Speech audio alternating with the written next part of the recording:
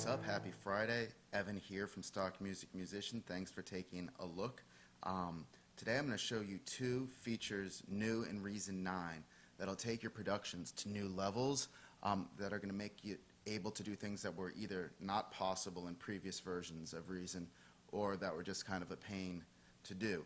So the two things that I want to show you how to do are how to convert audio into MIDI and then use that to create quick backing tracks uh, that you can then build off of. And the second is going to be how to do a really cool ending uh, by pitch shifting using uh, the pitch shifter that's new in Reason 9. Um, so I'm going to show you what those two sound like, then I'll show you how to do them. Um, now, granted, this audio bouncing, or the bouncing the audio to MIDI, I don't love the sound, but I think it would have uses in other places. You'll hear it, it's this yellow track here, and I converted basically his vocals into um, some sort of marimba type sound, some xylophone. So let's take a quick listen at that.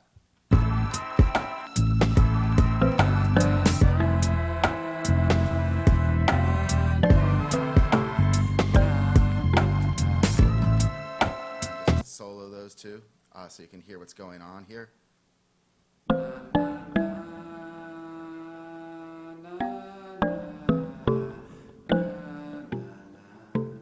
So you can obviously make that a lot better by editing the MIDI a little bit. It gets you started, and I'll show you how to do that. But first, I want to show you what the ending sound is that we're going for. So let's just take a listen to how the sample here sort of pitches down an octave and gets distorted.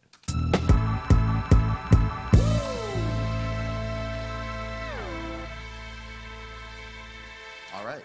So um, if you like this at all, be sure to hit the like button at the top of this page and be sure to subscribe for more interesting content on Reason 9 and just songwriting and recording in general. So let's dig in first to how you would create um, an easy accompaniment or how you would uh, convert audio to MIDI.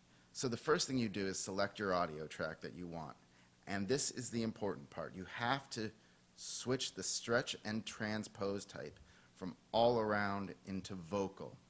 If you use all around or if you use melody, and I'll just show you what happens, and then hit bounce audio clips to MIDI, all it does is export the rhythm, but it doesn't really do the pitch. So listen to what that sounds like.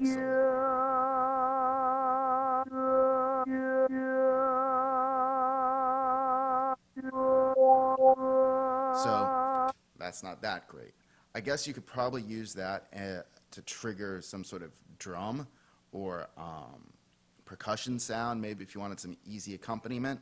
But instead, what we're going for is a sound that, oh, let's just delete this track here. Instead, what we want to do is switch the stretch type from all around to vocal and then hit bounce to MIDI, audio clips to MIDI there. And now when we listen to this, you'll hear the timing isn't going to be perfect but it pretty much captures the melody.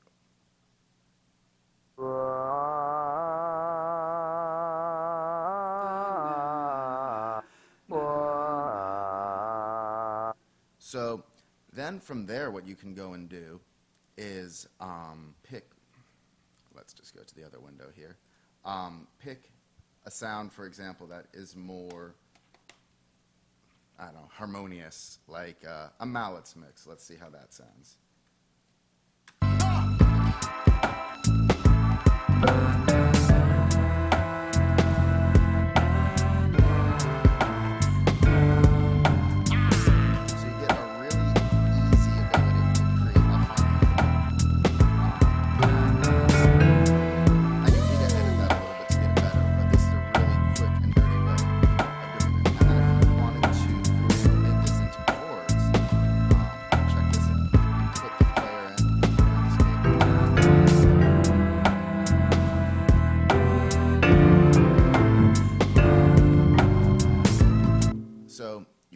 Easily get full-on chord arrangements out of this very quickly. I'll show you another example in this song. Um, none of this is what I would, I, I, like how I recorded this song. Still need to do a few more things, but um, we've got this arpeggio guitar here. Um, why aren't we here? Um, because the guitar bus is muted. That's a that's a, to the mixer here. And I think that might sound good if that was also um, part harmonizing with the piano. Uh, so I'm gonna, I switched it to a vocal part, and now I'm gonna bounce the clips to MIDI. Um, and so now we're gonna have.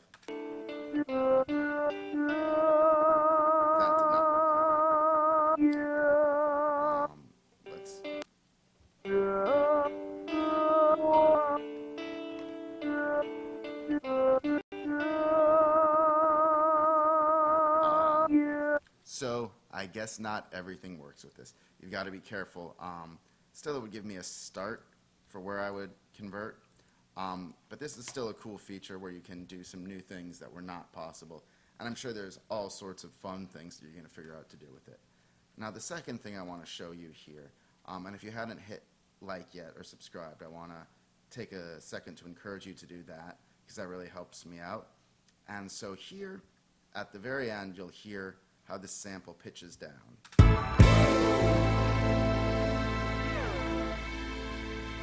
So now let's deconstruct how we get that cool sound. And you can uh, do it. I've got a smaller version of the song right here. Um, so let's just zoom out a bit. So what I did was cut the clips into different parts. So we've got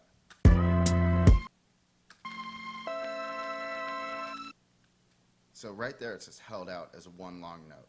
But I'm going to hit the R button and slice it one more time at the very end.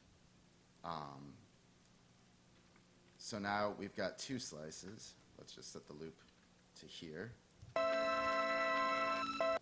Now what I'm going to do is take the second loop and use the transpose feature in the sequencer here to transpose it down an octave or 12 steps.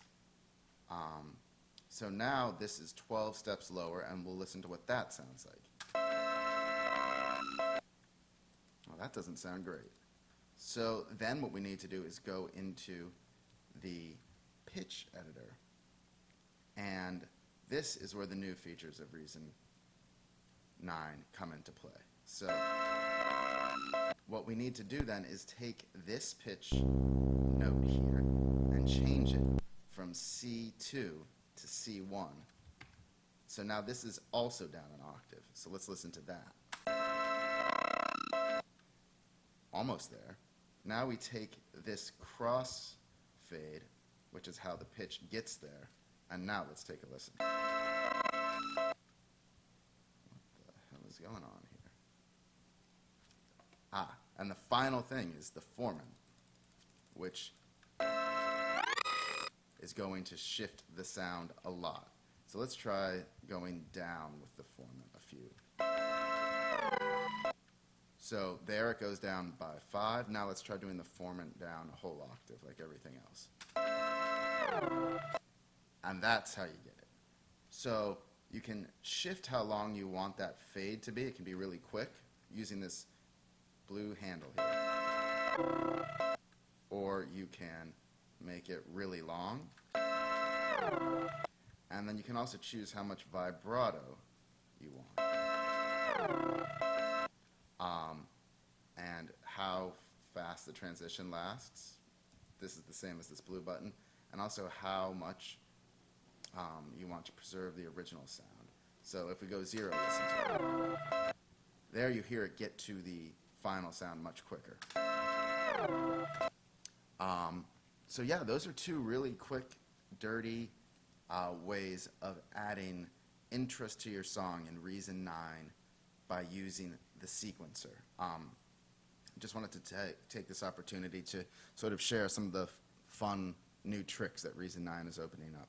So I hope you enjoyed this and have a great one.